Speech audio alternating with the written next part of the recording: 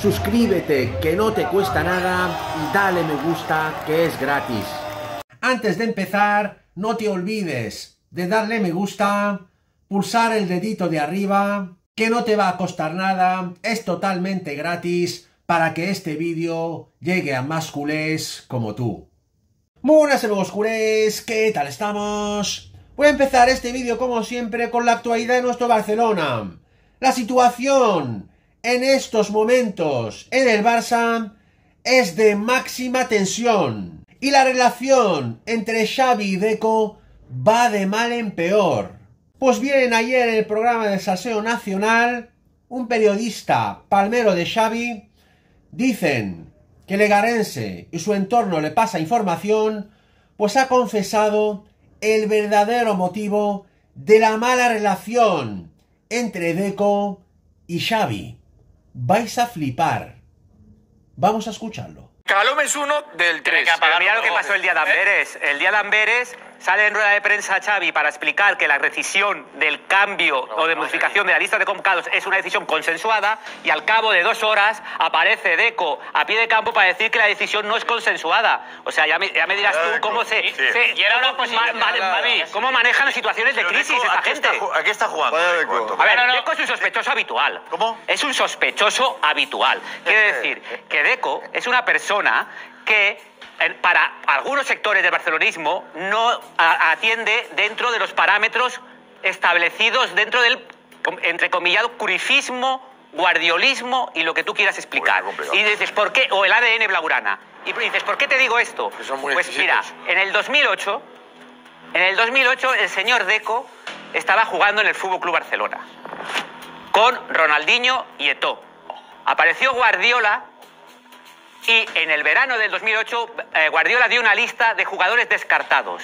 Uno era Deco. Uno de ellos, evidentemente, Ronaldinho. Otro Deco y otro Eto. Muy bien. Ya con eso, eh, Deco ya sabía qué opinaba Guardiola de su forma de gestionar el vestuario o, o futbolísticamente. ¿Qué pasó? Los capitanes, los capitanes se dirigieron a Guardiola, entre ellos Puyol y Xavi, y Xavi, y le dijeron, Mira, Pep, de estos tres jugadores que quieres descartar, que quieres echar, hay uno que es un profesional al 100%, que lo da todo en el campo y que no podemos estar sin él ahora mismo, porque lo necesitamos. Y él dijo, ¿quién? Dijo, se llama Samuel Eto. Y los otros dos silencio estampa. O sea, que al final, ¿qué quiere decir? Que los otros dos ni son profesionales al 100%, ni los necesitas, ni hace falta que sigan en el Barça, que ya los capitanes daban el visto bueno. A partir de ahí, Deco ya tiene dos señalados, que es Guardiola, porque me echa, y los capitanes, entre ellos Xavi, porque no me defiende. A partir de aquí, cuando Deco vuelve al Fútbol Club Barcelona, ¿qué pasa? Que, que además vuelve con la situación de que echan a Mateo Alemán y sobre todo a Jordi Cruyff la persona que más eh, empatía tenía con Xavi, que mejor se entendía. Pues ¿qué pasa? Pues claro, de, eh, Xavi al principio tiene recelos, porque conoce todo lo que ha pasado dentro del vestuario y sabe que puede haber un problema de comunicación. Y no, se sorprende. Deco, en principio, atiende todas las peticiones que quiere Xavi, le, le, demuestra que es un trabajador incansable, profesional, futbolero, habla el mismo idioma, Perfecto, perfecto. Pero todo esto se empieza a romper en el momento en que pide los fichajes. En el momento en que pide los fichajes y le dice, por favor, solo quiero uno, pero este me lo has de traer. Quiero un pivote defensivo top. Quiero un Martín Zubimendi o Kimmich. ¿Y qué pasa? Ni uno de los dos. Pero dices, ¿y por qué no pueden venir? No pueden venir porque Martín Zubimendi hay que pagar la cláusula que son 60 millones. Dices, bueno, pues lo entiendo, si es el free play, lo puedo entender. Pero a finales de, de este mes, bueno, ese mes no, del verano, cuando el último, faltan, tres días para acabar el mercado, resulta que viene Vitor Roque, que cuesta 30 millones más 30 de variables, o sea, esos 60. O sea, ¿qué pasa aquí? O sea, esos 60 que no vayan para Zubimendi, que era fichaje número top, valen, valen para un jugador que yo no te he pedido. los goles ha a Xavi dos veces ya. Bueno, pero yo no lo había pedido. Yo no, soy, no tengo la bola de cristal. Yo necesitaba a Martín Zubimendi. Tampoco le ponía. Eso es. Yo necesitaba no Martín Zubimendi. Ponía Xavi. Claro. Y le salva la Yamal. No ponía Víctor Roque. Y le salva dos partidos. Aquí, al final, Los fichajes los hace el presidente siempre, en mi opinión, ¿eh? Pero enseguida. Vale, hecho. Enseguida más.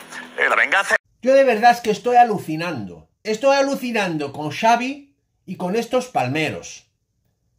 Que ahora mismo Xavi se enfada porque Deco ha dicho en una entrevista en Portugal que hay que evolucionar el estilo. Ojo, que, que Deco no ha dicho que hay que cambiar el estilo. Es totalmente falso.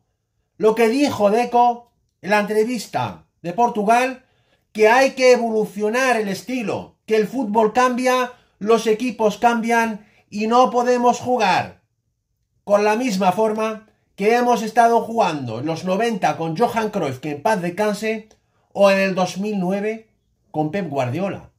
Primero porque no tienes los mismos jugadores. Y segundo, porque el fútbol ha evolucionado como todo en la vida y el estilo Barça se tiene que evolucionar. Es lo único que ha dicho Deco. ¿Y ahora Xavi se enfada por esto? ¿Acaso Xavi ha jugado al estilo Barça desde que llegó a entrenar a, a nuestro querido Barcelona? ¿Acaso Xavi juega ahora mismo esta temporada al estilo Barça? ¿A qué va, Xavi? ¿De qué va? ¿Te estás riendo en nuestras caras o qué? ¿Tú estás jugando al estilo Barça? Yo te lo puedo comprar.